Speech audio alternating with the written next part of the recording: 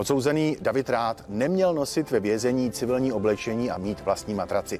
Teplická věznice podle nejvyššího státního zástupce Pavla Zemana porušila předpisy. Pavel Zeman se taky zabýval délkou pobytu Ráta v přijímacím oddílu věznice. Rád v něm měl být údajně déle, než bylo možné.